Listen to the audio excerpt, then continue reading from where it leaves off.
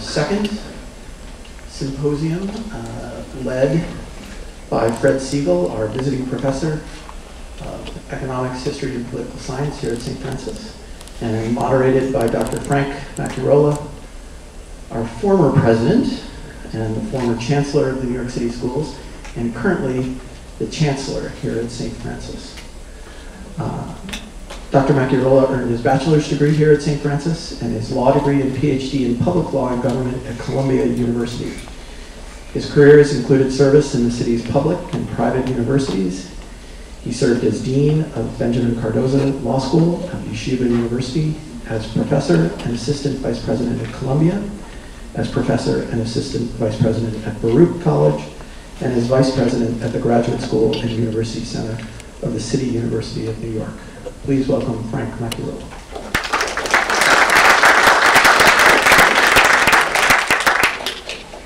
Thank you, Dr. Houlihan, and I want to thank uh, the president, uh, Brendan Dugan, for allowing us to do this. Uh, one of the nice things about, about President Dugan is that he lets me get out of control. So I'm able to do things with good people that I want to do, and he supports it thoroughly, and I'm very grateful to you, Brendan, for that. Uh, a panel like this, uh, when you see these four people, we should realize that there is a test. Who gets to be on the panel? I have to do two things with these people. Number one, I have to like them, and I have to respect them. So if you see a panel at St. Francis College that I'm involved in, you know that the panelists will be liked will be respected. And that's the case with each of our panelists and our moderator. So let me, uh, before I introduce the, the moderator, the, uh, introduce Fred, um, what I'm going to do is tell you a little bit about each of them that are not, they're in the program, you've got a program, you don't want to hear me. Uh, but I want to tell you a little about why we, they here. Um, Tom Suozzi, Nassau County Executive, former candidate for governor. And I know there are a lot of people in this room that voted for him. Uh, some of them are actually up here. Uh, he is known as a politician. well, he ran, you know, I mean, Suozzi, what do you think this is? Uh, so far, you can figure it out. a politician who's regularly ahead of the curve. In 2004, long before the abject dysfunction of Albany, he was widely recognized. Tom Suozzi, speaking on behalf of his organization, FixAlbany.com, said, quote, up to now, New York residents haven't connected the dots that laws passed in Albany mean higher property taxes for us at home. The era of closed door, insiders only state government in Albany that has existed for generations must end. And hopefully that will happen someday. In 2008, Tom chaired the New York State Commission on Property Tax Relief. Its recommendations have yet to be enacted upon, as I said, ahead of the curve. Second on the panel is a senior fellow for tax and budget studies at the Manhattan Institute, which is co-sponsoring this event with us. We are very grateful to the Manhattan Institute for all of the good things that they do, the forums that they run, the opportunities that they give for people to both in the City Journal and in their various forums say important things about what should be done. EJ says important things all the time. And he is credible, he is honest, and he is the go-to guy when people want to know what the story is. And usually, when journalists are figuring out what's going on, they go to EJ. Because he's got the budget, he knows what's happening, and he is able to help them. Third member of the panel, everybody knows him as a distinguished professor at SUNY New Paltz. We know his work, his splendid studies on the governorship, uh, his public service in the legislature of Orange County. Uh, they know all that stuff.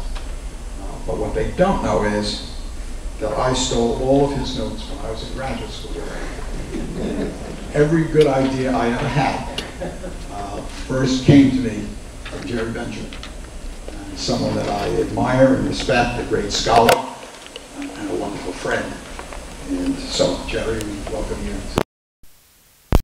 to our uh, chief, distinguished professor here at uh, St. Francis College, our visiting professor, and someone who has really done wonderful things, both with the college, in terms of our programs, in terms of the recognition, in terms of our students, in terms of the forum that he has from time to time. His teaching, he is a splendid addition to the college, and we're very grateful for Fred and the work that he does. So, um, Fred, are you going to say something? Okay, Fred's going to tell you the truth. The truth.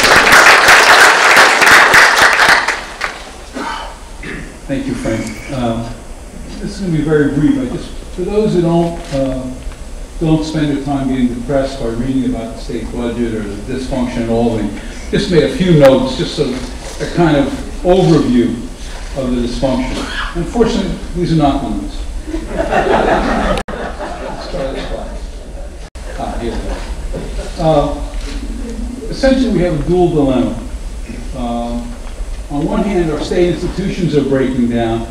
On the other hand, economic assumptions we've operated under for the past 25 years are also breaking down. So we've got a problem. And if you think of this just on the governmental level, we have a governor who resigned, a controller who resigned, a former president of the state senate under indictment, and then extraordinary shenanigans this past summer in the state senate, which is more amusing than edifying.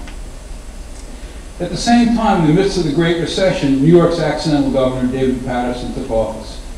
On March 17, 2008, you'll recognize that day, that's the day that Bear Stearns collapsed. He was dealt a very tough hand. Now, here's what David Paterson inherited, and the state still has to contend with. New York's pension costs are the highest in the nation.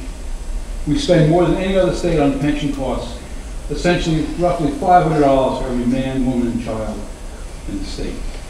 We have in New York eight of the 10 counties with the highest real estate taxes as a percentage of home value in the entire United States. And if you look at, at just raw numbers, New York and New Jersey are, take slots one through 10 for the highest property taxes in America. Our Medicaid program spends 45 billion a year. That's not just more than any other state, that's more than California and Texas combined. Together, they have three times our population. And yet, our Medicaid spending has not produced a noticeable improvement in the health of our population. It's quite average, and in some areas, below average. In the midst of this recession, in the midst of this dysfunction, we have a state budget this year which spends at seven times the rate of inflation. Astounding. As far as I know, we're the only state, I- I'm almost sure it's the only state that has anything remotely like this increase. Essentially, people in Albany live in a parallel universe. In the words of our governor, none of this makes sense. Governor Paterson recently noted that despite tax increases treating people who make more than $200,000 a year as if they were millionaires, revenue projections continue to fall. Here's the governor. You've heard the mantra, mantra, tax the rich, tax the rich. Well, we've done that, and we've probably lost jobs and driven people out of the state. Essentially, New York is staring down the barrel of a $38 billion budget gap, cumulative budget gap, over the next uh, three years. The problem is not revenues, the problem is spending, out of control spending. That's the hole we're in, and that's why we assembled these gentlemen to tell us how to dig, dig ourselves out of the hole. With that, let me bring up Tom.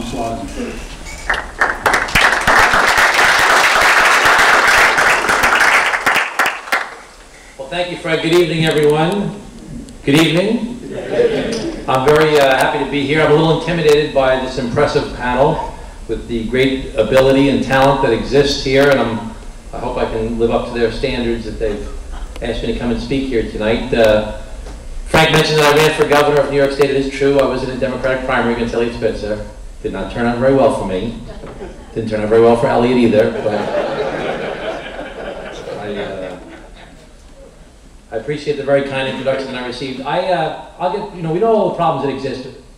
Fred just talked about the spending, not only the pensions, Medicaid two and a half times the cost the national average. We spend more per student than any state in the United States of America, but our results are as low as number 30 in some of the standardized testing that exists throughout, throughout the country. So no matter what item you look at in our budget, you see that we're spending these enormous amounts of money and not getting the result. It'd be great if we were spending the money and we were like number one in the country as far as our performance in healthcare. It'd be great. We'd be living up to a, the social contract that we have had in New York State for a long time.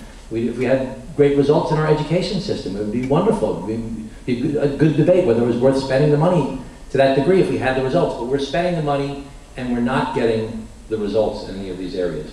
And as we know, people are leaving the state in droves, droves, especially upstate New York.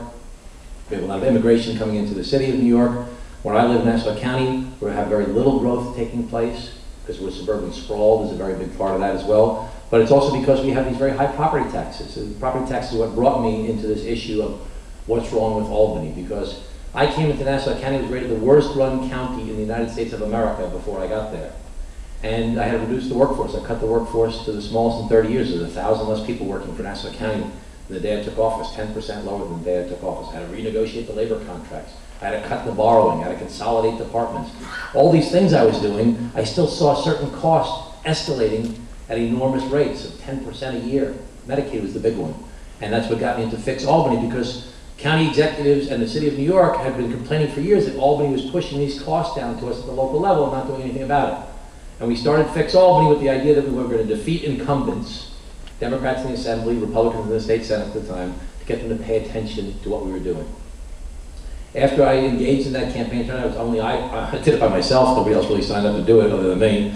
We did defeat one assembly uh, assembly member, Democrat in a primary, and defeated a Republican in the state senate. Helped defeat a Republican in the state senate. And I soon thereafter became the chairman of the New York State County Executives Association, and people were listening a little bit more. And we got them to cap the growth of Medicaid uh, at the local level. And cap in the growth of Medicaid at the local level forced the expenses up to the state. The growth of the program would have to be picked up by the folks that were giving us the growth in the program, which was the state of New York. And it's one of the things that forced then Governor Pataki, then Governor Spitzer, and now David Paterson, that they realize they have to address the Medicaid problem because the problem is not going to be picked up by the local governments. It's actually saved a billion dollars throughout the entire state over the past couple of years. New York City probably benefited the most. I know that my county benefited, other counties benefit as well, but it's forced the responsibility onto the state. So the problems that exist in our state, I believe, are based on simple issues of accountability. So there's two basic problems. One problem is related to the issue of mandates, state laws. Now, why does the state keep on passing law after law after law after law after law after law after law that has negative consequences for many constituencies, local governments being a big part of it, but thereby the people? Uh, why do they keep on passing these laws that have given us the highest local taxes in America? 78% above the national average. I hate to say Fred Siegel is wrong, but Fred Siegel is wrong. It's not 8 out of 10, it's 9 out of 10 counties in New York State have the highest local taxes, highest property taxes in America as a percentage of home value. Four of the top 10 counties in America with the highest property taxes as a percentage of income are in downstate New York. Uh, four of the top 10 counties in the United States of America have the highest property taxes as a dollar amount are in downstate New York.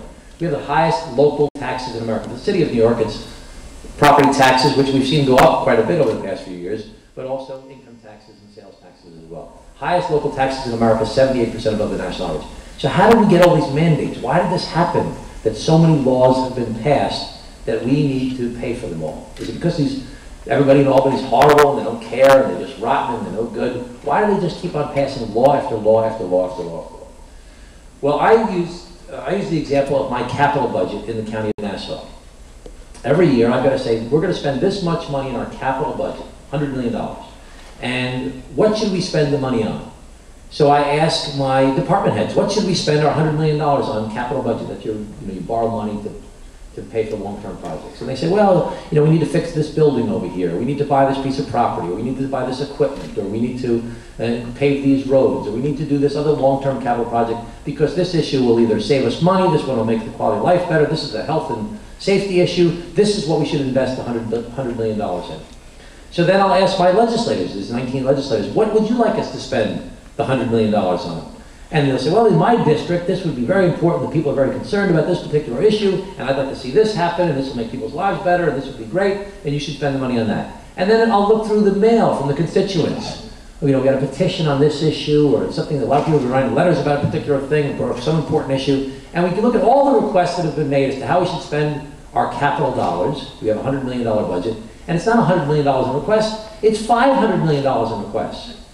So we can't do all $500 million worth of projects. So we have to prioritize and do what we think is most important that fits within our budget. Because we can only borrow a certain amount of money because you have to pay the money back and you have to pay back the debt service year after year after year.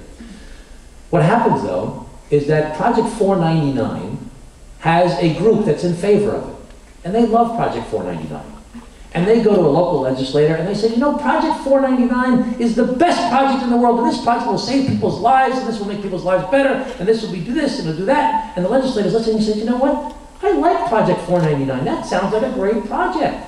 And they'll go out and make a speech. They'll go, let, let me tell you, ladies and gentlemen, Project 499 is the best project that ever happened. And if we do Project 499, people's lives will be better, we will save the environment, small children will be smiling. We must do Project 499.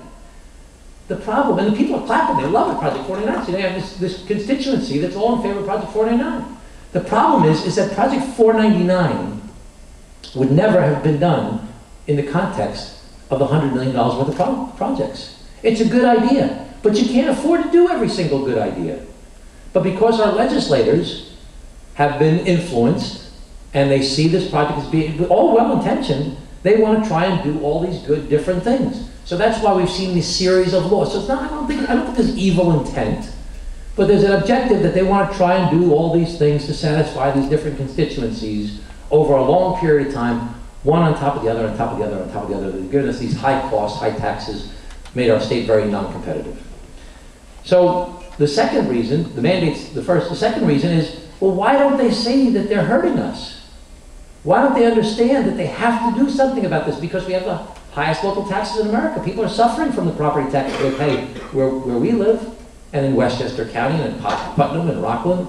And there's problems with the MTA, and there's problems with people leaving upstate New York in droves, and there's problems all over the place. Why don't they see that they have to fix those problems? Why isn't that they're concerned that their actions or inaction will get them voted out of office? Why aren't they concerned that, that will happen, that they're going to lose their race? How can it be that the state senate could have acted, acted over this past summer with such craven self-interest that they would not expect that the public was going to vote them out of office? Because they're not going to. They're not going to vote them out of office. There's a 99% reelection rate. There have been more people indicted in the state senate and the state assembly over the past five years that have lost their jobs at the polling booth. So they're not going to lose their office because most people, you know, you're you're an odd group. I got to tell you, you're out here at night listening to a, a, a, panel discussion about reforming New York State government. Can it be reformed? This, you're not normal. Most people are not paying, they don't know who their state senator is or their state assembly person is, and they're not engaged. There's smaller and smaller turnouts taking place in the election. We see the influence of different groups that control the different elections that we have. So most people don't participate in this process. So we're not going to, so we need to focus, not for those of us that want to see our state be the best it can be and become the empire state again. We have to focus not just on what needs to be reformed, but much more importantly, on how are we going to get it reformed? How are we going to get the interest of our elected officials at the state level to pay attention to these concerns? Because right now, their incentive, what's their incentive to make these very tough decisions? Because they're hard. It's easy to vote to pass things that people like. It's hard to make changes, especially since you're not going to lose your seat anyway. If you do try and change things and go against the, you may lose your committee chairmanship. You may lose your campaign uh, contributions. You may lose the troops that supports you on the street. you may lose all the things that keep you in the position that you're in. So what incentive do you have to make these very tough decisions to change things? Morally, we all believe it's the right thing to do. We all believe that they should do it. But we have to create an incentive for elected officials to want to make these changes. That incentive will only come from the public, that more people get interested and involved in demanding these changes to take place. And so the focus has got to be on how do we get more people involved in the electoral process that want to see these changes take place. Because we can, we're going to spend a lot of time here tonight talking about what needs to be done. This should be done, that should be done, this should be done, that should be done. But it won't happen unless we get the elected officials to make the changes. Many of those changes against their self-interest. Redistricting reform, probably one of the most important. You need competitive elections. You must have people compete. Our society is based upon competition. Capitalism is based upon competition. You have a good product, you have a good service, you have a better price, you're going to get the, the market share. That's what politics, democracy is based upon as well. I've got a better idea, I've got a better service, I've got a better way to do things, I can do it cheaper, I can do it better. I should win. But that doesn't happen. In 60 or 70% of the races, there's either no opponent, or the opponent is someone who's just put up there by the party that really can't win, and they spend less than $1,000 on the race. So the only way that you'll change things is by having competitive elections where people realize by doing the right thing, the good thing, I win. By not doing anything, I lose. That's a very big challenge for all of us. Thank you very much.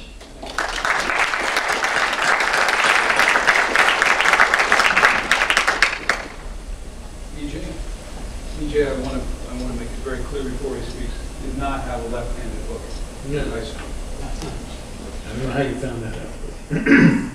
Uh, Good evening, thank you very much. Um, I kind of pick up on a theme that uh, Tom Suozzi raised, because uh, Tom went around the state uh, last year and uh, in in a real yeoman's effort to educate the public on the nature and the causes of the, of the state's high property tax burden. And I think really did a very good job of that. And is more familiar with the issues and with the responses and the choices that the state faces than most people uh, after the hearings you held and, and uh, you know, the paper that was issued by the Suozzi Commission. Um, one thing I noticed as being uh, part of the, the kind of traveling roadshow uh, around the, the Commission on Property Tax Relief was also the way that the knowledge of our high tax burden gave birth to a sort of fallacy.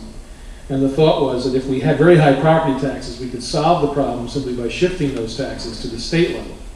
Now, as it happens, state taxes in total in New York are not extremely high, do not rank in the top 10 after, uh, among other things, relative to personal income by national statistical measures, but those measures are misleading. In New York, half of our sales tax rate, which is pretty high, at over 8% on average, is collected by local governments and thus is not counted as a state tax because the local governments, the counties principally in the city of New York, need it to pay for their share of Medicaid, which is still a large amount of money even though it's been capped.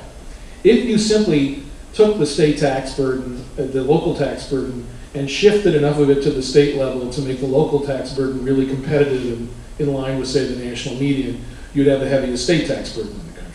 So the real problem at, at bottom, i- as Tom also alluded to, is the cost of government in New York.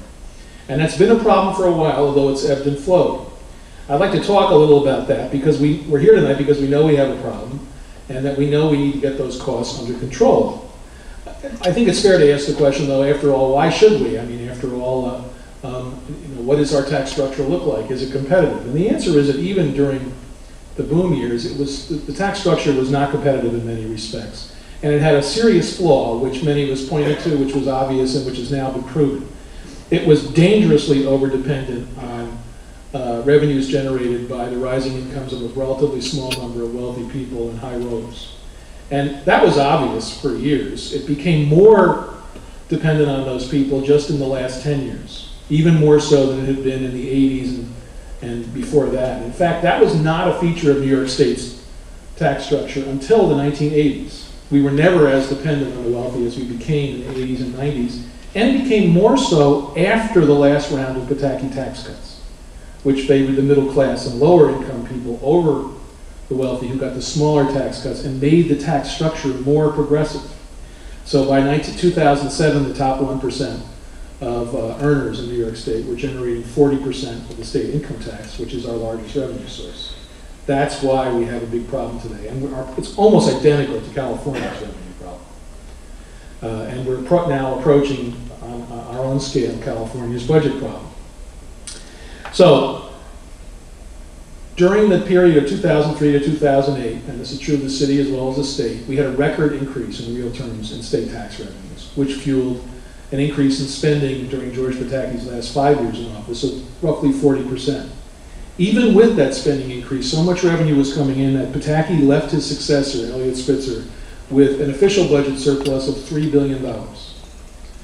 Um, and there was another billion uh, squirreled away in various nooks and crannies in the budget. So he had a considerable cushion. That cushion was gone within about nine months. And at the moment, we are falling deeply, ever more deeply, into a very bottomless, what appears to be a bottomless pit.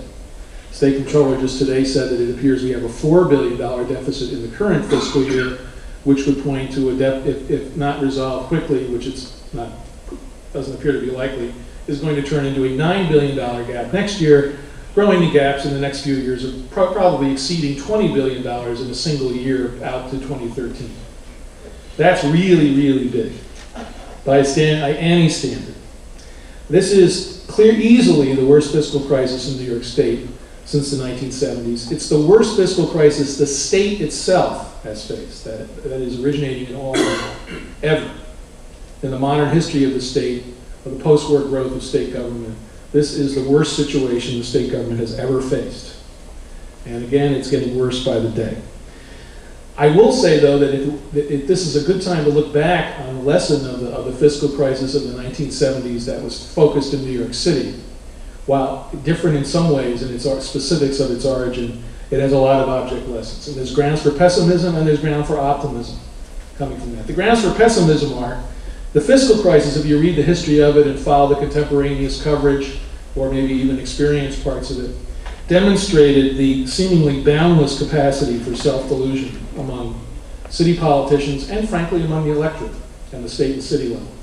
The, the, the looming fiscal crisis, which people in both parties at different levels of government were beginning to warn of years earlier, was essentially a non-issue in political campaigns almost to the moment that the city was shut out of the credit markets. Abe Beame was elected mayor, after all, because he knew the buck. Um, so, and then everything collapsed, and the city had to do truly disruptive, massive cuts to make up for the problems that had been created. Now, flash forward to now, I think that the, the grounds for optimism are is, is the response to that crisis and the lessons that state, on this, especially on the state level, that were learned from that. Because if you look at what led up to the fiscal crisis, it's often associated with sloppy fiscal practices, short-term borrowing, excessive spending, all of which is true. The unspoken aspect of the fiscal crisis is that it was preceded by year after year of really enormous tax increases. John Lindsay and Nelson Rockefeller, in tandem in the 1960s, had raised city and state taxes to unbelievably high levels. And then, after the go-go stock market of 1969 turned bearish, and after we had recessions in the 1970s, they did more. They added to that. They did further significant increases on top of that.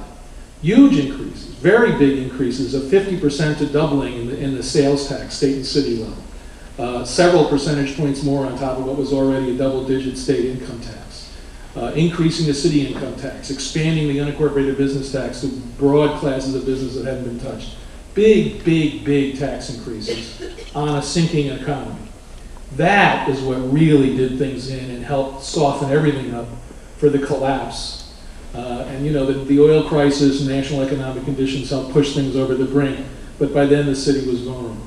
The lesson learned, and it's very clearly learned, was that there was a broad political consensus and a, an agreement in New York that, that things had gone too far, that taxes were too high, that the tax structure was wildly out of sync with anything that could be considered consecutive, uh, competitive.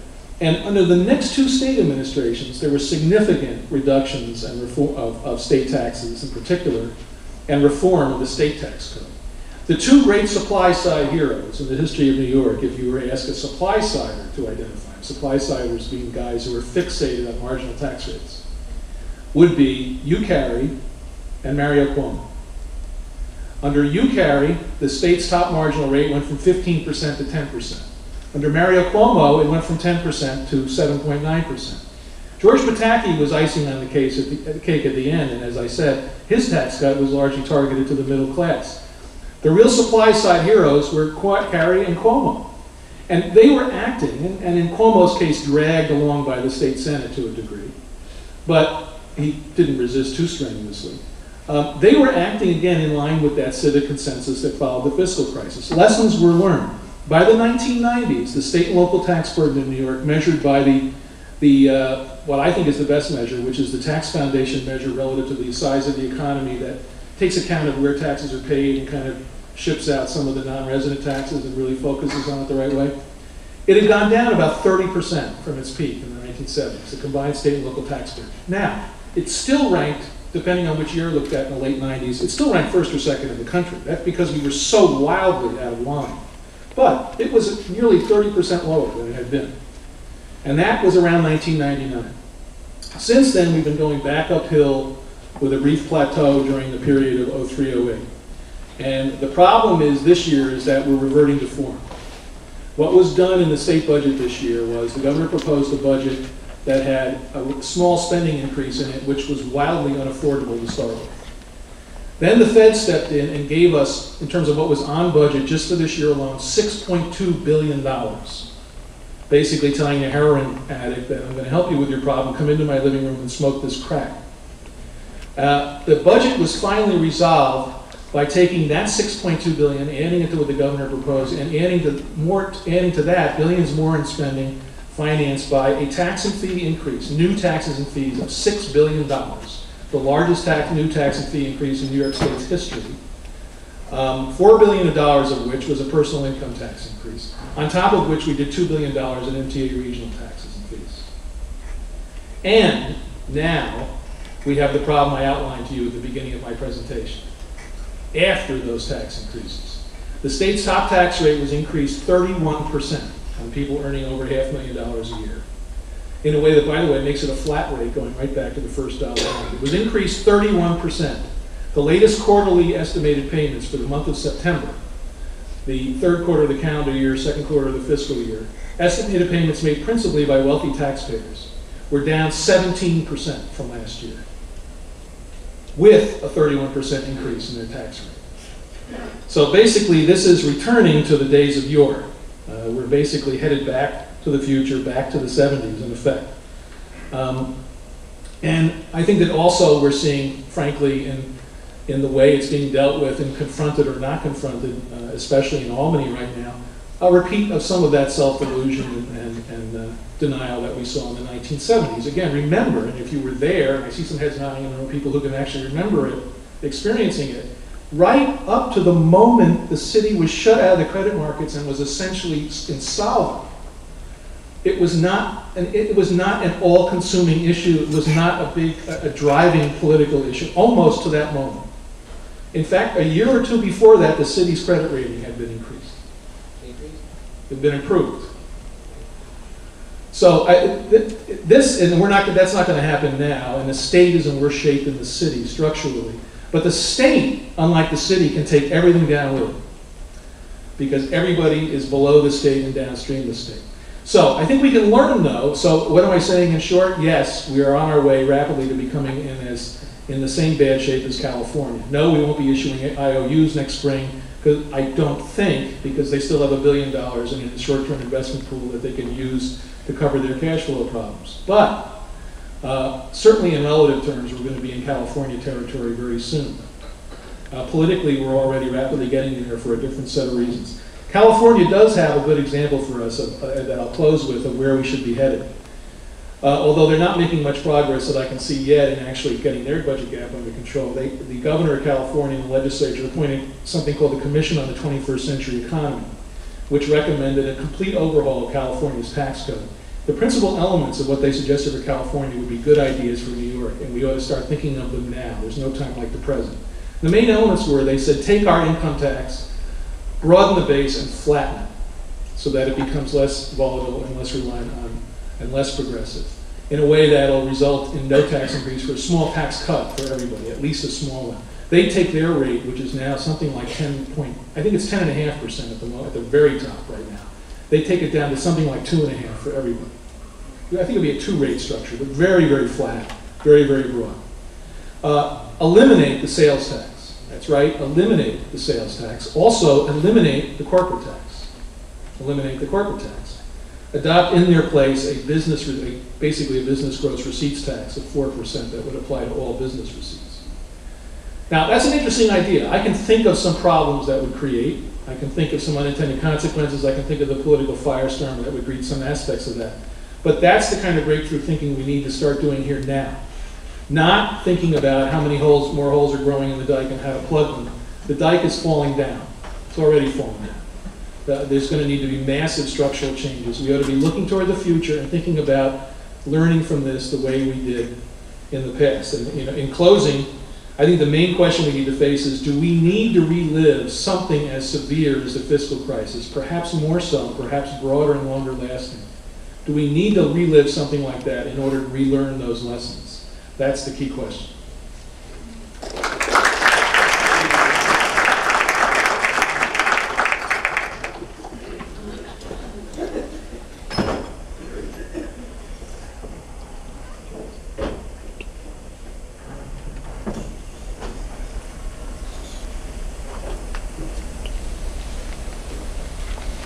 I must say I'm delighted to be here this evening on, on the great honor of this- of the college and its social mission.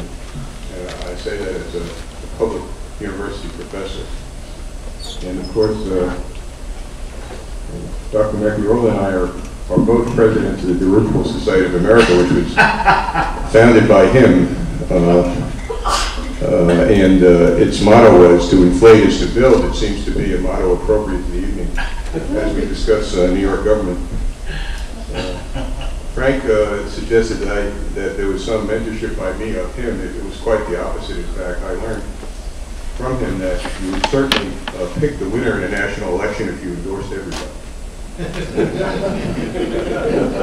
So, uh, He had that early political skill that, that uh, I modeled upon. Uh, And it's great to see Mary and, and uh, Michael here. And, uh, uh, So that, I always thought when Frank came to be president of this institution, that a, a man found his vocation and the, and the, and the uh, consequences will manifest in both the person and the place.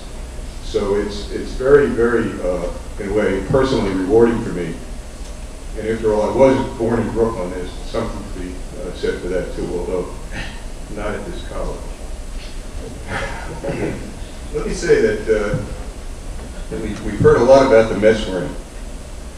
Um, I went back and uh, looked at uh, the state purposes budget for 1959 when graduated, when I was in, when I was in high school.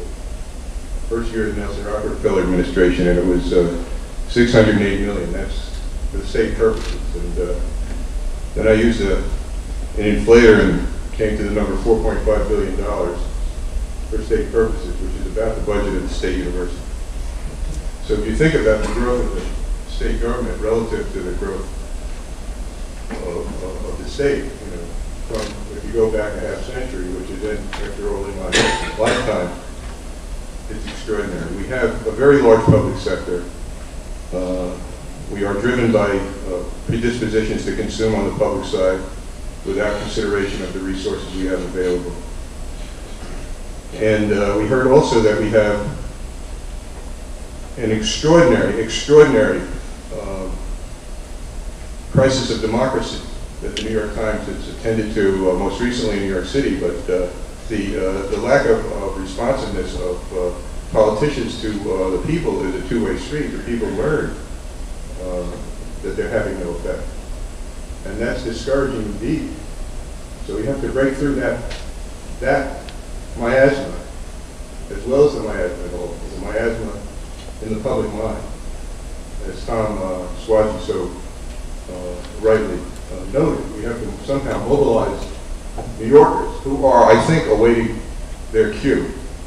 Uh, we also heard of the depth and, and, uh, and consequence of the crisis we're in and the opportunity that crisis provided for New York City uh, to bring some greater order and rationality to its fist.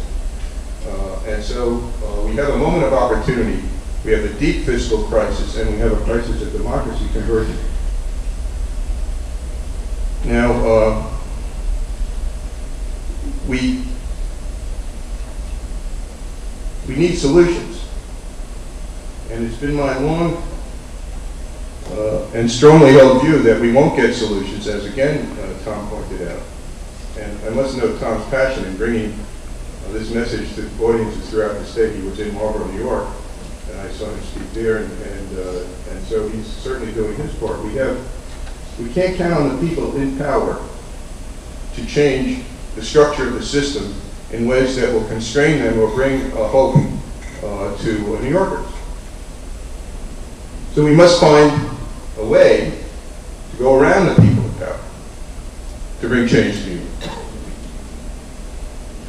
We do not have the initiative and referendum, and some would argue that if we had that remedy, we'd be switching California's crisis for New York's crisis. We do have a mandated process for constitutional change that bypasses the people in power. In fact, all constitutions in this country, all 51 of them, have a process to go around the people in power because of the presumption that occasionally they will not wish to change the structures of government because they benefit from it. And that includes the national constitution, though we rarely use that, that opportunity. In New York, it happens to be a mandatory constitutional question that we can that, that we offer to the voters every 20 years. Last offered in 1997. So, one immediate disability of my remedy is that the opportunity doesn't rise convergent with the crisis, and that's something that we have to think hard about. And I'll come back to that point.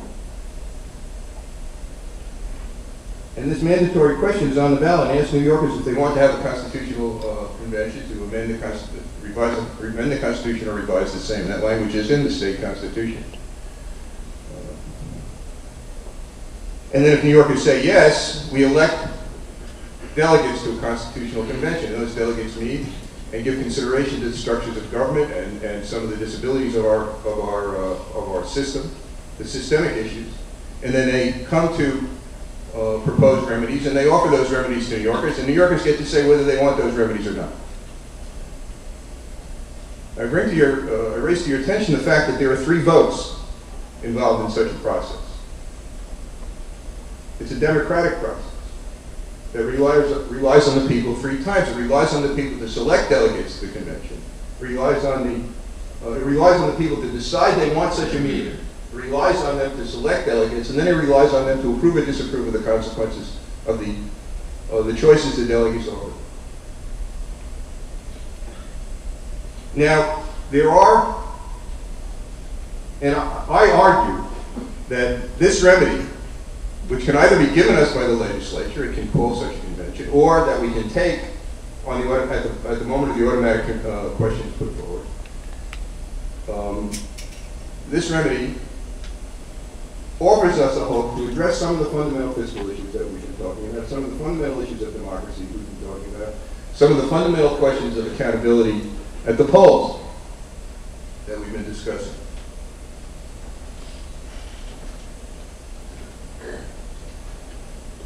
I recently wrote a, an op-ed piece that appeared in the Wall Street Journal. I co-authored it with Mario Cuomo, and we argued that a convention was necessary. And uh, the uh, naysayers came forward, and I'm going to talk a little about that. There's always danger time when you're with professors that they talk very long. So jump up in five minutes and uh, the- governor called me and said, people are asking me, what would we do in such a convention? We need to write another essay. And I said, well, we could have a fair method for legislative districting, not gerrymandered, not gerrymandering by those in power to stay in power. We have a process for campaign financing that diminishes the influence of big money and enhances competitiveness in our system. I call that paying for the heat and light of democracy because it's part of the overhead. We can have elections administered by professionals, not by political appointees through what is the residual of the patronage system. We can restore the proper balance between the legislative and executive branches in such areas as budgeting and filling vacancies in public office, a concern that some of us uh, have because we believe the recent uh, Court of Appeals decision was wrongly uh, decided. Um, We can have an ethics provision, as the one, as is the case in Rhode Island, that modernizes and realizes the Constitution's anti-corruption provisions, and there are such provisions in the Constitution now. We can have a unified court system, we can have merit selection of judges, we can have a rational system of local government. Now, I'm from upstate New York, um, differently defined by different people, but uh, the layered system of local government that we have is the consequence of, of, of uh, well, Henry Hudson didn't have anything to do with it, so I can't say 400 years of history, but a long history of uh, accretion without adding, without removing. Okay, so I have my list, other people have theirs. What do the naysayers uh, argue? And I'll try to go quickly. Go quickly. It's always dangerous when your pages are out of order. There are, there are uh, three arguments, really. I think the first I characterize as nothing will change if we have a convention. The second I characterize as everything will change if we have a convention. And the third I'd say summarizes as the wrong thing will change if we have a convention. Now, all of this is a, is, is a, a, a, a, a conviction or instill, an attempt to instill a conviction that fear will always triumph over hope. That if we rely on democracy, bad things will happen. Now, the first argument is based on the notion that we'll elect the wrong people, the same people who run the state now will control, they'll get another salary, they'll get more money, they won't do anything uh, serious. In fact, the Constitution that was passed in 1967 had a commission uh, to draw legislative districts. If we had that Constitution today and had only that provision, we'd have competitive elections in New York. And that, that Constitution lost because of an error in presenting the, the document to the people. We can also pass laws, and I have some ideas about this, against dual office holding that would prevent somebody from being in the legislature and being a delegate at the same time. I wouldn't preclude them from running for delegate, but I'd preclude them from sitting in both offices which is a common practice in New York. Second argument, everything might change. Well, we can't, most of us believe, who pay attention to this, believe we can't have a limited convention just to fix one thing or another because of the nature of our constitutional requirement. The question that's asked. There's some debate among law professors on this, but I think that probably it's not possible to have a limited constitutional convention. So the argument is Pandora's box will be open. Those of you who are familiar with Greek mythology know this is an anti-feminist uh, characterization, but I won't go. I, I, I, won't go into that for the moment, uh, in the interest of time. Pandora's box will be open un- unleash a host of evils upon New York. Now we have already heard that we're suffering under a host of evils. So what's the marginal risk? An interesting question. Secondly, uh, politically, a lot of the things that people say will be undone will not be undone. We will not remove the Adirondack and Catskill Preserves, constitutional protection of the Adirondack and Catskill Preserves, because if we present such a document to the people, they'll reject it. So there's a political dimension to our consideration, not just a structural dimension to our, consideration.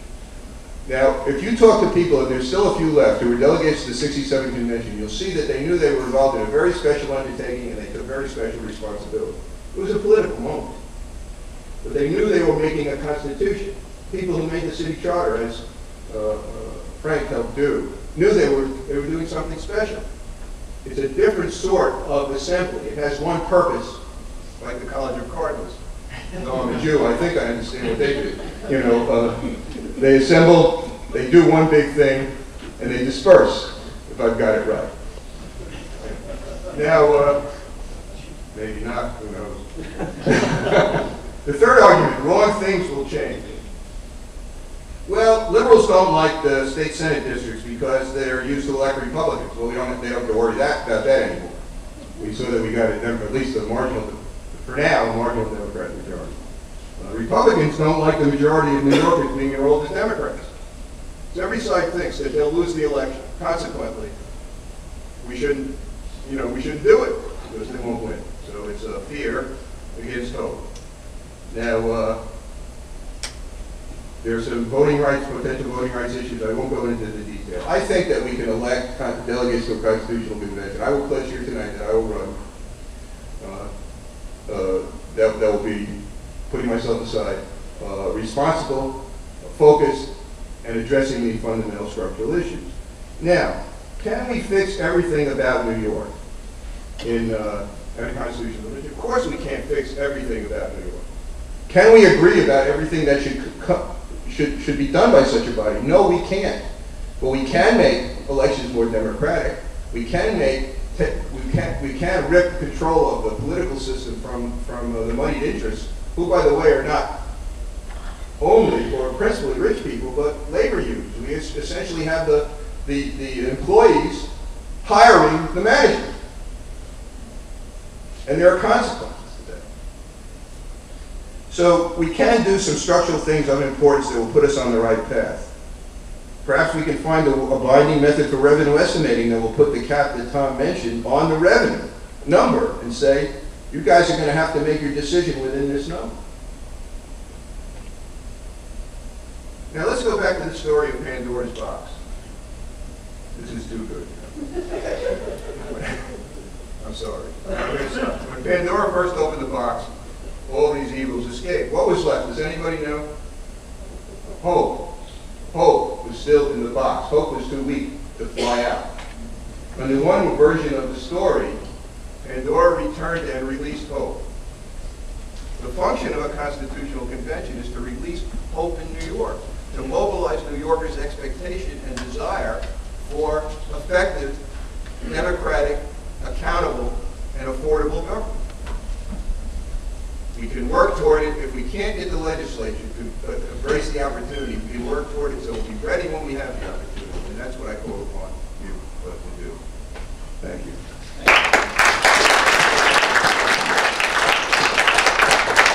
What we do now is we let the panelists exchange, engage in exchange among each other, and then we'll turn it over to you for questions.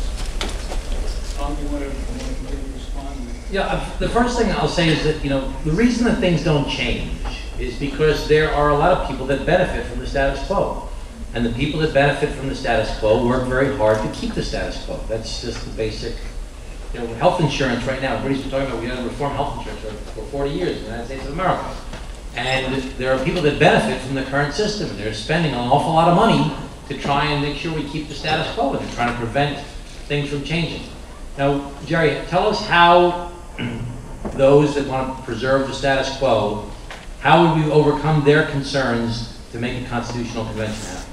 What is, what are the steps that would take place for a constitutional convention to happen in New York State? Well, EJ and I have been going to meetings about this, so we, uh, he may wish to add to the, to what I have to say. Uh, Maybe I've ratted him out, he doesn't want the world to know he's been there. Um, First, we have to address the process question. We have to, we have to pass, and that requires passing law about process, because the Constitution specifies process. So the state legislature would have to pass the law. Well, But, so then the question is, yes, they would, and it's a catch-22, which is another allusion of more contemporary, literary allusion of more contemporary nature. You know, it's a catch-22.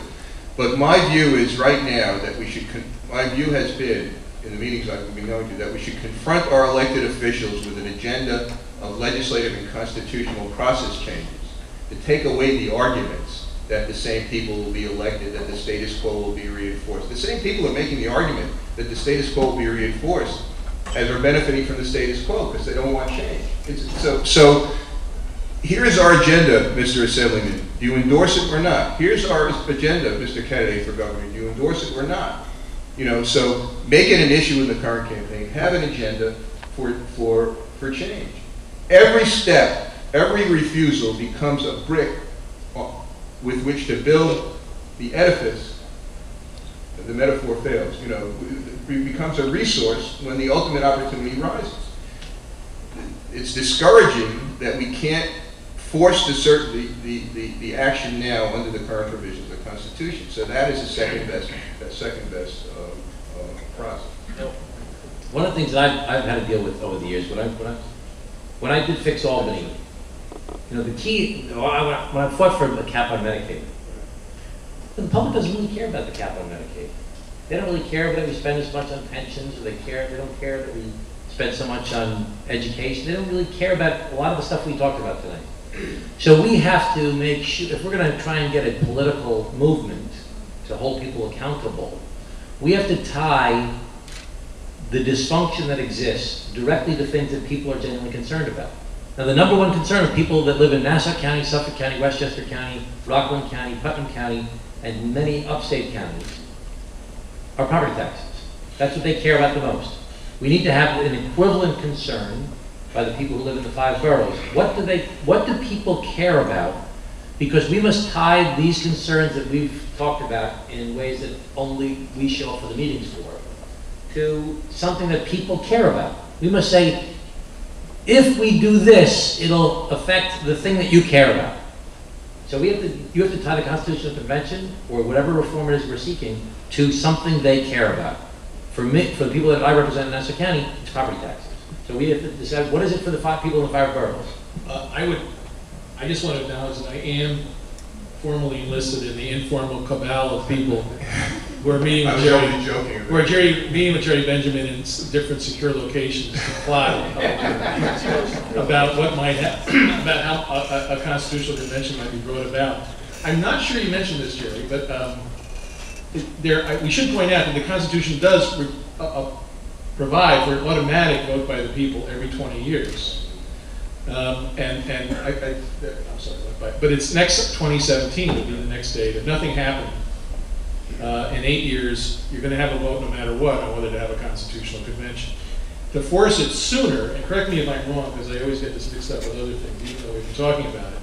You, a constitution otherwise can be called only the way the constitution itself can be amended, which is the legislature, has, the governor has nothing to do with it, actually. The legislature has to pass a concurrent resolution, both houses.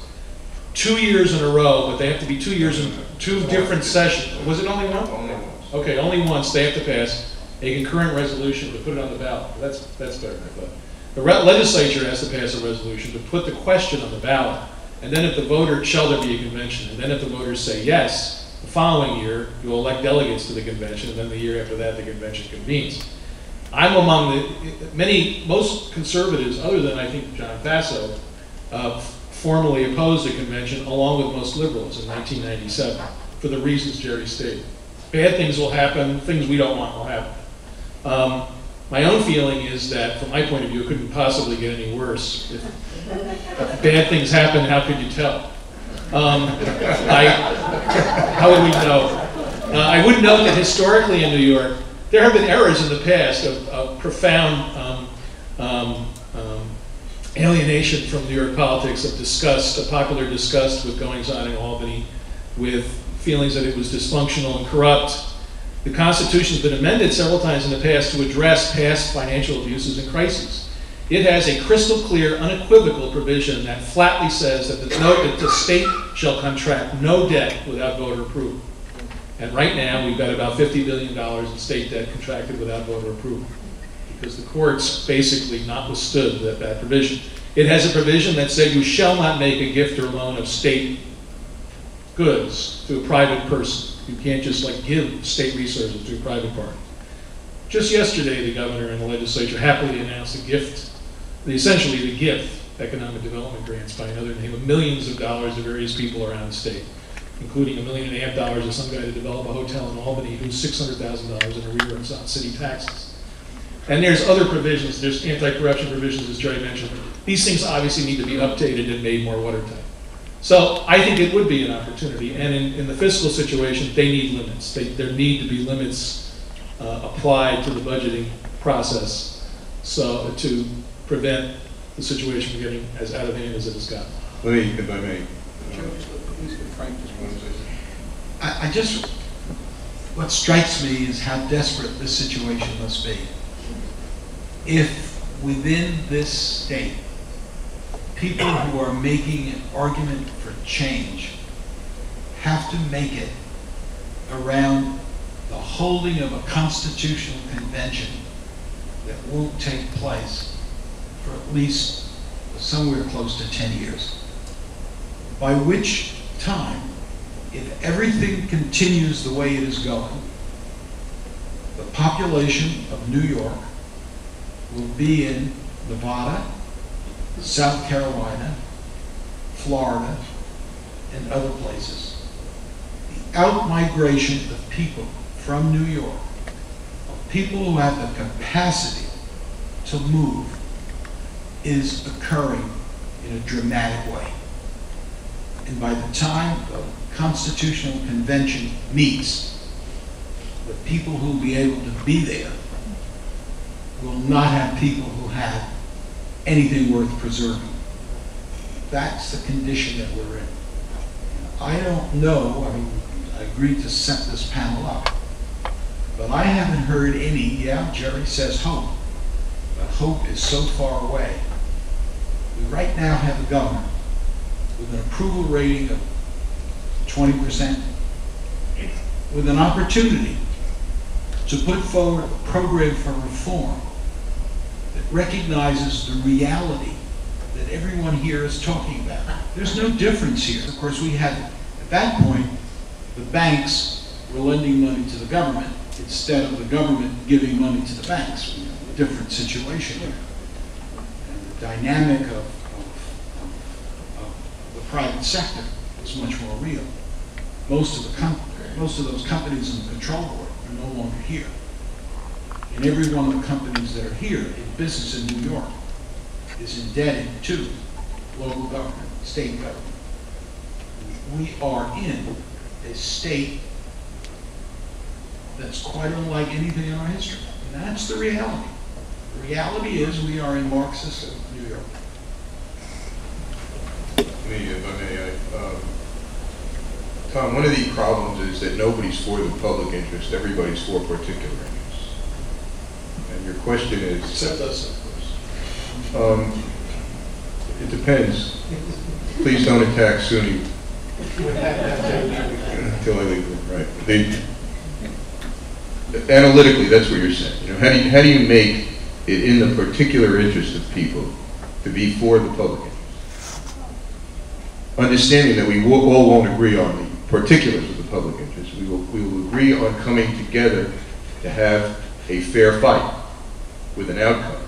Fight might be the wrong characterization. Let me tell you a little story. In 1967, I was staff head of the Constitution Commission. The commission, uh, Governor Cuomo, in 1964 and 5 and 6, I was head of the, staff head of the commission, Governor Cuomo appointed to get ready for a convention vote in 97. Jewish holidays, I was coming out of my synagogue, and I was campaigning across the state uh, when invited to, to make some of the arguments I made today. I'm persistent. And uh, fellow stops me, he's head of the, uh, uh, the teachers union in our local uh, school district. He's, a, you know, co-parishioner, member of my synagogue. He says to me, why do you want to take my pension? I said, it's a high holy day, I'm not going to discuss this in front of the city. Which wasn't a dodge, it was really the way I felt. His union had convinced him that if there was such a meeting, he would, his pension rights would be compromised. And that the mobilization of, of, of, uh, of, of, of organized labor and you know, without malevolence, the, the political mobilization of organized labor defeated the convention vote that year quite decisively. Now, in New York City in the 70s, members of unions became convinced that if the city collapsed, tens of thousands of people would be hired, would be fired, would lose their jobs. So the primary concern was how do we help?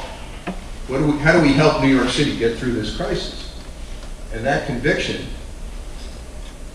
dictated support of a remedy. So, are we in a moment where the consequences are so potentially dire for the people who ordinarily would resist consideration of alternatives that they will perforce consider? Yeah, And can we convince them of that? so going back to your religious analogy, the College of Cardinals would tell you that, the- you know, we need to seek the common good. That's what our objective should be, and certainly in public life, we should seek the common good. And there's a concern that different groups, including unions, as it was back in the 1990s, uh, would be concerned about a constitution. And, and uh, unions have a very, very influential role in our contemporary politics. We saw the Working Families Party had such a big role in the turnout in the um, uh, elections that we just had in runoffs. And the very low turnout races, but they were very effective in getting candidates elected. So we have to figure out how can we, because you're not going to beat these groups. You're not going to just say, you know, you're, you're the problem and we're going to take away your pension. And I don't recommend that we, that that be the, the step, the way that we do it. There's going to have to be an effort to help bring together different interests from labor unions and business to see that it's in the common good of all of us to address these issues. That, you know, is there, are there lessons to be learned from what happened in Detroit? What were the faults of management and what were the faults of labor that contributed to the decline of the auto industry here in the United States of America? And so we need to do the same thing with public employee unions here in New York State that, and with businesses here in New York State to bring them together to say, listen, if we continue on the existing path that we have, we're going to kill the goose that laid the golden egg. And we need to educate, everyone needs to understand that. I think that everyone needs to understand labor's legitimate concern, that they want to make sure that people have a decent wage, and that they, if they're willing to work hard and work every week, that they should be able to have a wage and health insurance and a pension and retirement security one day. That's, I don't think anybody's, even EJ's not against that. He's for that. He just thinks it, he just thinks, he just thinks it's gotten too far. So we need to do a better job of educating all the different parties involved that there is a common good that we can all benefit from, that everybody can win in the process. So we need to figure out, you know, so we need to figure out how can the different parties benefit from this process. A crisis puts us in that situation. I don't think we are there yet. I think that, like your concern that you discussed earlier, that in the 1970s, up until the total collapse happened, happened, nobody was even talking about it. And I think we're on the precipice of that type of collapse happening here in New York State. I don't think we're here, there yet. And I don't think that everybody's sufficiently motivated yet to have, sit down and have that conversation. Uh, I rarely use this word, but I'm becoming more and more appreciative of its value the longer I've been in public life, is that you really need leadership. You need people, I, I hate using the word leadership, I think it's overused too much, but you really need leadership. You need the leadership to bring together the disparate interests that are involved here, to realize that why there's a common good that can be served, both for, and these are just two examples of parties that usually don't be on the same page, business and labor, but other groups as well, that can have the same interest served uh, through a common good effort uh, to try and find a solution. One second, I want to turn this over to the audience. I just want to add one sour thought. Um, For many interests, slow decline is preferable to compromise. And that's one of the dangers we face. That like, like the frog that gets parboiled uh, in the water, that that's the kind of situation we're in. And when we say bringing business and, and, and labor together, the problem is business and labor is together. Large businesses cut their separate deals with the state government. Labor cuts its deal with the state government. What gets squeezed is the middle class. And it's very hard to mobilize the middle class. Having put my two cents in, let me turn it over to you, Fred, the audience. Fred, just a second. I, I'm going to read an email that I just got. I- I'm on my way out of the country, that's why I'm trying to catch up. Let, let me read the email. It came, its subject is, it's very apropos of what we're talking about today. Call from Governor Paterson. Uh, This is from Ken Adams, Business Council. I wanted to let you know that this afternoon Governor Paterson called to inform me that tomorrow he will be making an important budget announcement. As you know, the state is facing a current year deficit of about three billion. The Business Council has been advocating forcefully for state spending cuts to eliminate the deficit and to prepare for the upcoming 2010-11 budget. Last week, the governor announced 500 million in executive cuts, step in the right direction. Response, the Business Council recognized that move and pressed for more, as we called for immediate across-the-board 6% reduction in state spending. The governor did not reveal the details of what he intends to announce tomorrow, but he suggested to me that the approach was in keeping with the remarks that he made at our recent annual meeting, and he asked for us to be supportive. We anticipate that his proposal will require legislative approval and will be intensely opposed by many interests. In that case, the governor will need our strong and vocal support. We will be sure to keep you informed of important developments tomorrow, and of course, how you can assist moving forward. Thank you, Ken Adams. So, there may be a light at the end of the tunnel, other than the train coming at us from the other end of the tunnel. Uh, That's, that's encouraging, and hopefully the governor will step up to the plate. Um, Let me turn it over to you in the audience. Um, Just, just stand up and, uh, can people hear me? Just just stand up and just say who you are and then Joe. I'm Alair Townsend, a fan of all these assembled panelists. Um, At the, ti- at this time when the state is entering into an unprecedentedly awful fiscal and economic situation, we have the rise of the Working Families Party, which has been alluded to. The Working Families Party is is in a state of denial, you might say, about the effect of taxes on uh, business and individuals in New York State. They and a number of other legislature, le- legislators don't believe they matter. So their preferred solution still is more taxes. They don't want to touch pensions. They don't want to uh, change Taylor or Triborough. They don't want to have contracts that change provisions for Ten employee. tell people what Taylor and. Taylor law keeps, um, Triborough amendment keeps all provisions of a contract in place, uh, even after they have expired. So steps and other things can continue to get paid, and nothing goes away. Taylor law sets the basic parameters for negotiating between public sector managers and employees. My question is really a practical one. What specific things can you think of to do to counter their growing power where they can pick off legislators or put new ones in, uh, in races of their choice? Should we start a new jobs party? Should we more selectively or rigorously enforce uh, campaign finance laws? What is the answer here, if there is one? Nothing will happen in the short term. Uh, This is a, the Working Families Party is an effective organization that has built its influence over a long period of years doing effective organizing. Business groups of New York State are ineffective when it comes to campaigning, providing troops and money, uh, and there's not an equal counterbalance to them in. So it would be years and of organizing that would be necessary to impact that change. Not that I'm suggesting that there, shouldn't be an effort to spend years to organize people for a particular interest. I encourage all groups to do that. That's what America is about. Uh, but I don't think that anything like that's happening in the short term, uh, to have a counterbalance, uh, to the Working Families Party. And they do represent a large group of people. I just want to, so I think we need to be thinking in terms of, you know, there, you know, it's, it's, it is a, a, a sour note, that if it's, if it's true that we cannot stop people from just letting slow decline happen, and if they will not compromise and just will allow slow decline to happen. So there needs to be an effort to, number one, can work on the working family party and their leadership to understand their moral responsibility that they have to address the problem that we all face, now that they have as much influence as they do.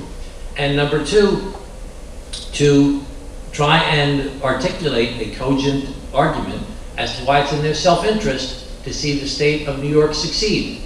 So, for example, you know, we all know there's been a declining union membership in New York State and the United States of America over the past three decades. Maybe there's an opportunity to increase union membership, but to do so, you need to have more successful businesses and you need to have more successful growth taking place in New York State, which would require a change in the status quo.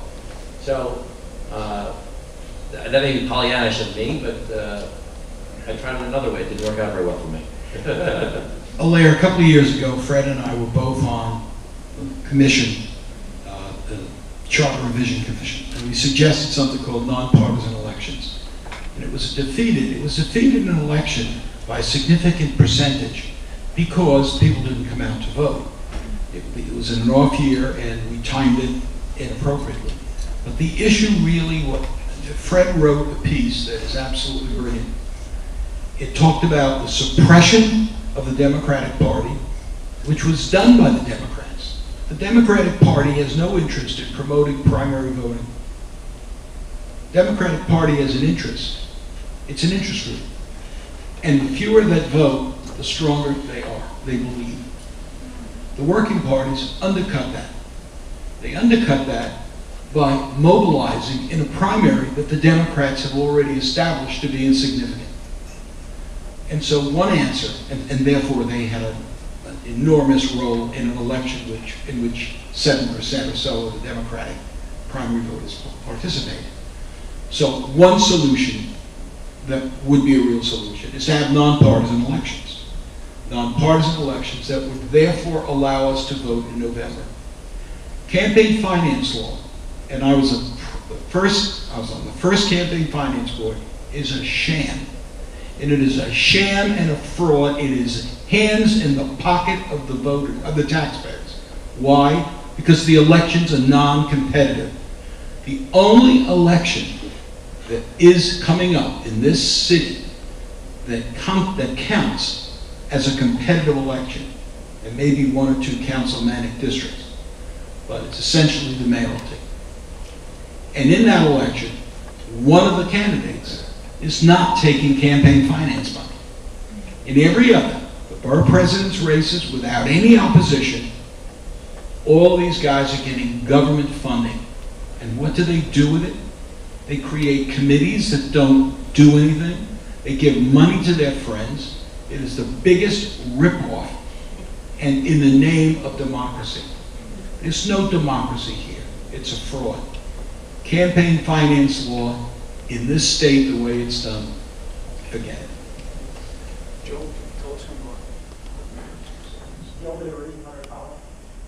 I- I'd like to just go back to the question that's on the, the program here. Uh, Can New York government be reformed? To me, that's more a process issue than a policy issue. A lot of, you spend a lot of time talking about policy today. And my, my own, uh, my own way of describing the problem is that uh, the people, the only people who can fix the problem are those uh, who are part of the problem, and that doesn't seem to be changing. And, and you've talked about some possibilities, but even, you know, in terms of a constitutional convention, you're still going to have to go back to the usual suspects to produce delegates in a political process that is still going to have a hard time turning out people in local elections because any political scientist knows the more local something is, the less participation you have. And even if you think that the governor, uh, you know, might come up with a plan tomorrow, he still has to go back to the same legislature. So to me, the problem is very obvious, is that the only people who can fix it are benefited from it. And, and I don't see a path around that, I- including the Constitutional Convention. So if we're going to answer the question, yes, then you have to tell me what that path is, and I haven't heard it yet. I- I- I'd like to start with an answer to that from my observation of New York government. First, I begin with a prediction. If, it- if New York State government is not meaning, meaningfully reformed, whatever that means, but in ways I think we would all agree are are reforms, that is, doesn't get its act together, doesn't do things that relieve pressure to, for change, I would predict flatly that in 2017, people will call, will vote for a constitutional convention. I Absolutely, I think that absolutely will happen because it will be really, really, really bad by 2017. I- Seriously, I think, that- I think, I think there's, I think that, I love the Adam Smith quote, it's very useful in New York. You know, you know the famous letter the guy wrote to Adam Smith, who, who during the Revolution, his young friend, the American Revolution, he said, like, the empire is ruined. And Adam Smith wrote back, there's a lot of ruin in an empire. Um, there's a lot of ruin in the Empire State, by which I mean, you can go on muddling through this, this appalling situation as it gets worse and worse and worse for years, with occasional federal bailouts, you know, fever highs on Wall Street that generate little spurts of revenue. Things can kind of muddle through in a screw, increasingly screwed up fashion until 2017. If that happens, people will have, will have a constitutional convention.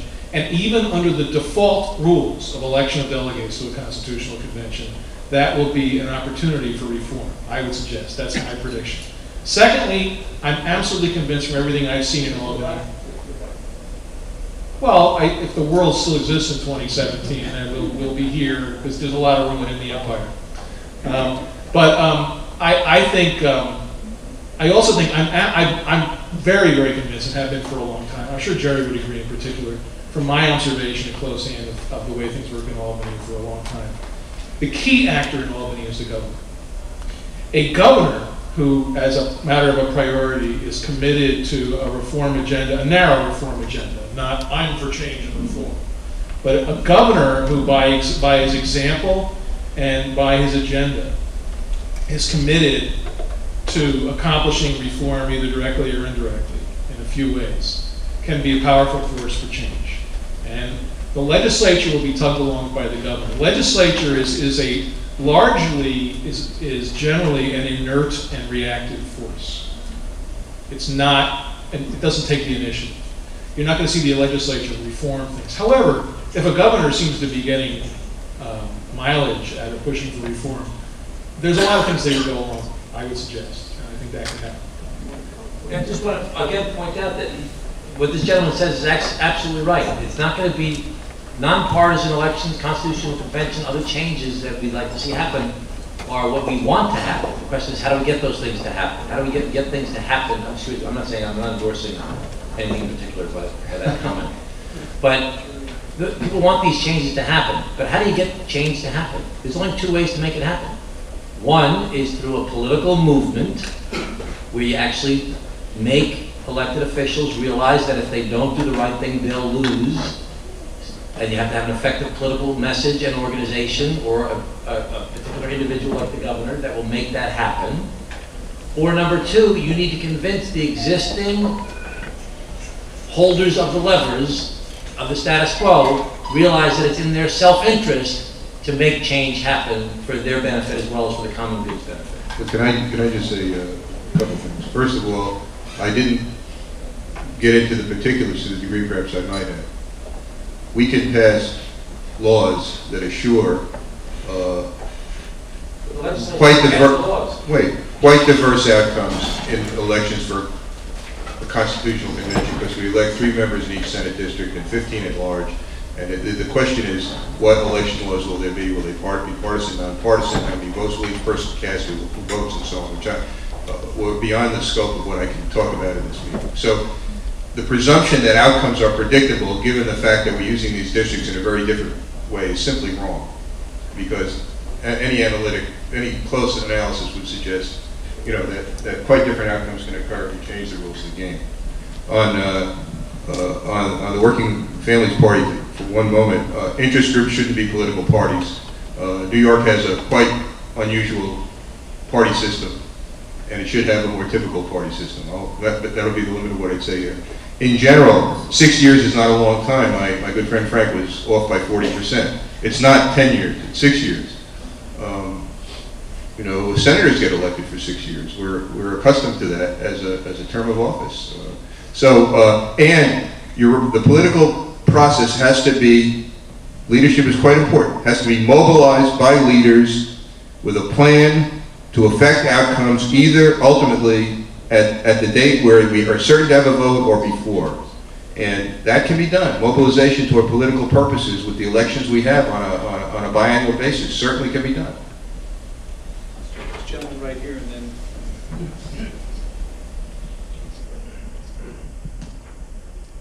Dick Starkey, Suozzi for Governor Campaign, 2006. If all the people said they were going to vote for me actually voted for me, I would have gotten twenty percent, not nineteen percent. The, uh, the clear message of the panel for me, what I, the message that I hear is that the most vulnerable component of reform is going to be pensions. And that scares me as a pensioner. It seems to me to be a huge sticking point. And I wonder if you could conceive of reform taking place without touching the pension. Well, first of all, New York you can't touch the existing pensions. We're not permitted to touch the existing pensions under the existing constitution. And I think that any changes to the pension system would be on a prospective basis. Changes, you know, to bring us back to things we had as recently as 1999 was it? As recently as 1999, changes were made in- when the economy was booming in 1999. There were dramatic changes made to our pension system where people had to stop contributing to their pensions. And, uh, you know, I think that any changes that took place regarding pensions would have to be on a prospective basis. Is that required by law, or would you have to, Yes. Convention, could you change that? No, you- the litigation would kill you, you know, would be not possible. It'd have to be prospective. Would have, would not affect anybody's existing pension, but it would affect new employees. And again, it's not, what we have now is not sustainable. 2011, 2011, just about every government, probably in the United States of America, but certainly here in New York State, is going to be bombed with incredible increases in their pension bills. And they're going to be losing at the same time the stimulus money that they're getting. So here in New York State, we're going to see dramatic, dramatic increases in our pension bills for every local government. And we're going to see a loss of stimulus money at the same time.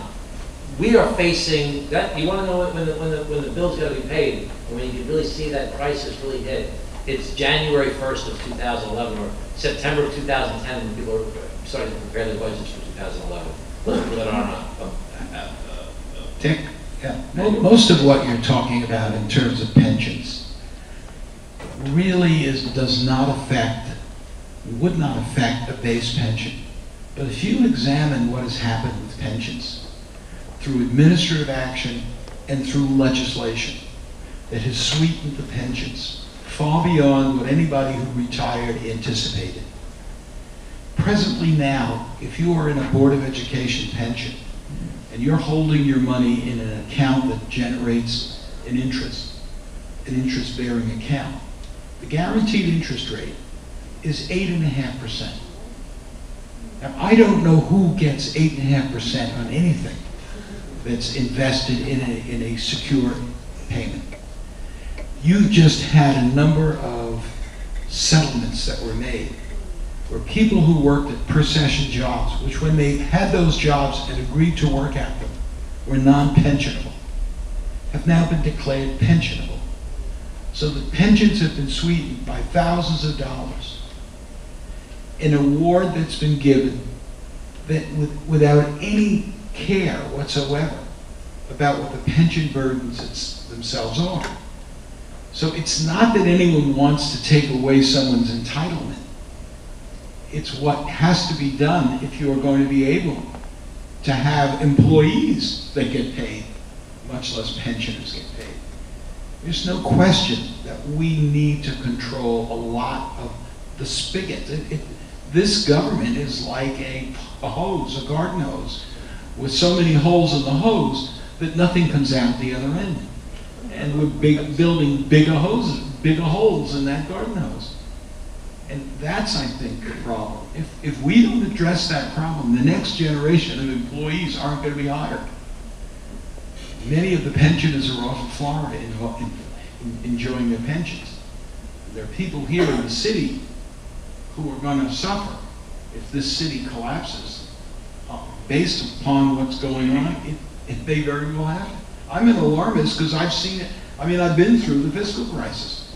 I was through it and analyzed it, and, I, and, and the mechanisms for bringing it under control were far more powerful than they are today. There is no mechanism to bring it under control. There's no, there's no will at the, at the government. There's no private sector that can do it. There's no control board that can reform it. We are, we are sinking. And I study these, you know, this is one of my fields, so. This gentleman right here. Yeah. Stand up. Tell us you My are. name is Sao Lam. I think the only thing you can bring, bring more voters uh, to participate in politics is that you use the Scandinavian system. For example, the city council, right, have, uh, let's say, 100 members. And uh, the minimum amount for you to, to participate in as a political party is that you must have something like 4% of the uh, population who want to vote for you. So it's called apportionment, you know. And uh, as for for the mayor or other council who want to run independent, they have to do the same also, you know. Must have a, uh, people sign a petition for you at least, I mean, the minimum amount of percentage is four percent. Then, the third criteria is that you are not allowed, there's a limit on uh, financial uh, advertisement. I mean, as for city council, you only allowed to print, let's say that district has uh, 100,000 people, so you only are allowed to print uh, no more than 300,000 flyers. You have a question, Mr. You, you, yeah. All right, so there's a limit. So instead of people based on, uh, based on what you call, uh, special interest, they were based on the merit, what they are going to do. Then, I think the poor and the middle class will be willing to participate. Because a lot of this, they, from what I heard from most of the people, they say, uh, this, this Mr. Lamb, we need a question from you. You're You're not supposed to make a speech, you're supposed to ask a question. Yeah. And the problem, what I'm saying is this, you know, the question you address is why, why is, uh, people are not voting, right, are not participating. That's what I believe, because people complain, because they are not, uh, working for their interests. Can let- let's let someone else I ask. think this. that's a good, can I quickly Yeah, on that, Bill? Because it raises something about the city of New York that I find striking as somebody who's not a resident of the city of New York, but lived in New York State and various parts of the state all my life. Um, The city of New York is, is, you know, as you know, unique in the United States for more reasons than one. It's politically unique. It's a, it is basically a state within a state. It's more French than American in its political design. It has a powerful central government, an extremely powerful executive, and very, and really, uh, no local government. You live in a state with no local government. I would differ with something Joe said about local elections not having high participation rates. In rural and suburban areas of upstate New York, and even not far from here, there's pretty high turnout rates in elections. People do feel connected to their local governments. Um, You have very, very low turnout rates in off, in elections at odd times, like school board elections, and village elections, which are held in the spring in many places. And in New York City, they, I would simply point out that the city council district in New York City, the typical city council district, holds more people than live in the city of Syracuse, uh, which is New York's fourth or fifth largest city. Um, So you don't have it, the principle of subsidiarity, you know, doesn't exist in the political structure of New York City. There is no local government here. You have the privilege or the the pleasure of living in two states and paying taxes to both of them. And that is a unique problem in the United States. And and to tie it back to what my talk was about, the last severe historic fiscal crisis we had was the city's fiscal crisis, which required strong determined action led by a governor to do things for and to the city, which was the state within the state over which Albany enjoyed a certain degree of parental rights. The coming fiscal crisis is the state's fiscal crisis. Unfortunately, the state would not face an imminent threat of bankruptcy and a receivership with a uh, federal bankruptcy judge overseeing. And that's the problem that we're facing. It's actually a bigger problem. So that kind of ties the political ends around indirectly, I know, but I, I thought that was an important point to make. This gentleman there. Yes, sir.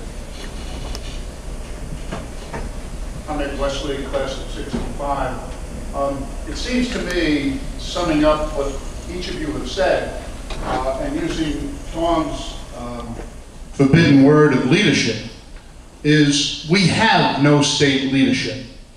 And I think that's the gist of the problem here.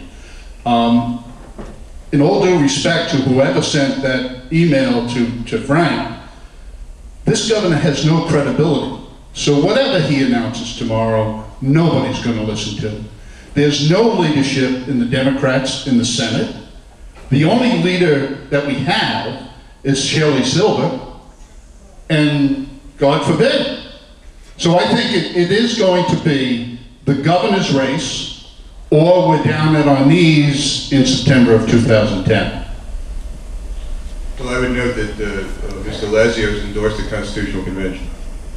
Mr. Le- uh, Mr. Leslie, and, and uh, perhaps, you know, other leaders of that stature, some of whom are in the room, will endorse the Constitutional Convention. And uh, if we, uh, a start is to get the people running to attend to the opportunity to make change, to, to embrace the opportunity to make change as part of their self-interest as they run. By the way, we did have proportional representation in New York in the 1940s, and uh, which was suggested by one of the gentlemen who was speaking that we have a proportional representation election system.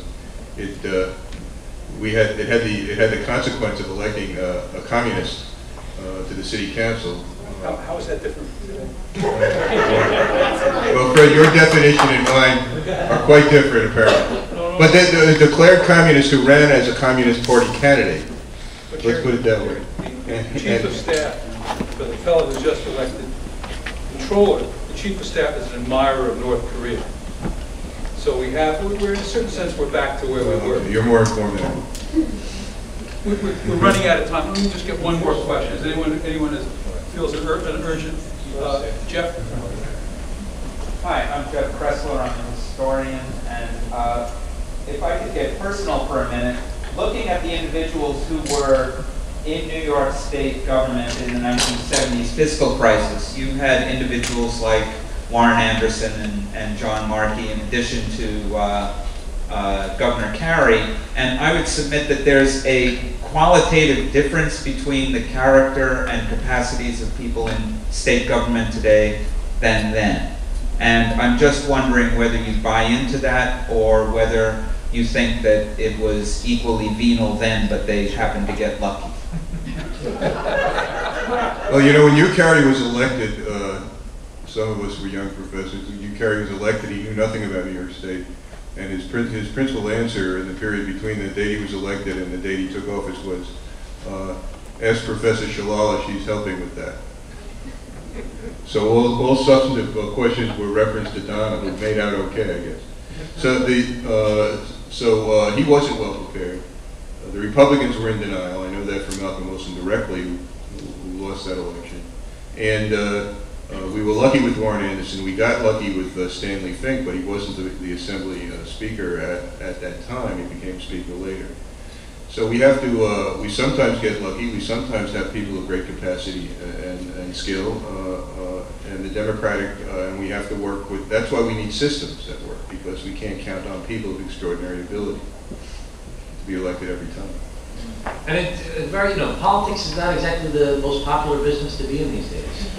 I, uh, after I ran against, uh, Eliot Spitzer, uh, and I ended up working with Eliot, he appointed me as the chairman of the commission for property tax relief, I was grateful to him for that. But after that loss, I was offered a lot of jobs to make an awful lot of money. I'm a lawyer and a certified public accountant, I work for Arthur Andersen and Company and Shearman Sterling, and I was offered jobs I'm embarrassed to say how much money I was offered. I was offered a job as a dean of a law school, I was offered a job at a Wall Street investment banking firm, and other, it's, and this is a tough business. I mean, it's, it's eight fifteen at night. I've got a wife and three children at home. Uh, I've got a middle of a campaign election. I was out, I was out late every night for the past three weeks. So you don't make as much money, you get beaten up on a regular basis. Most people think you're a bum because you're in politics. They look at the word politics. Poly is a Greek word which means some people has a different interpretation. Poly of the many, ticks, or blood-sucking insects. I mean, it's not exactly the most popular profession to be in these days. And, uh, you know, we, we, we want to try and encourage good people to get involved in politics. And, you know, when you, sometimes you see people get inspired, they decide to run. They run against an incumbent congressperson or an incum- incumbent assembly person or state senator, and they lose. Because they didn't come up through the chairs and they didn't learn about the business of politics, and they don't understand how it's a sophisticated business. That you learn the skill sets that are necessary to participate in. So, uh, it's a tough business to get in, especially as it's become more difficult. I mean, look at, I mean, nobody can say that Obama is not an incredibly talented person. Incredibly talented, intelligent, able guy that can be doing anything with his life. He's, look at how he's getting beaten up for trying to change things on, on something that uh, needs to be changed, health insurance. And it's been, and a lot of the attacks are very personal. So this is, you know, we've become very, very gotcha You know, the, the competition with media, is in media these days. The media is changing so rapidly. And a lot of traditional media had tremendous journalistic integrity that required that you could do certain things and not do certain things. And those standard journalistic uh, institutions are now facing competition from the internet, which has no standards, and it has to, you don't live by standards to what you blog or what you create. A lot of tabloids don't necessarily have any standards as to what they put in the papers as well. So there's been a dumbing down of the process and the conversation as part of it, and it makes it less and less attractive to be in public life. So, uh, so I don't know your answer, I just want to share those thoughts. With those appealing thoughts, let's, let's thank our panelists.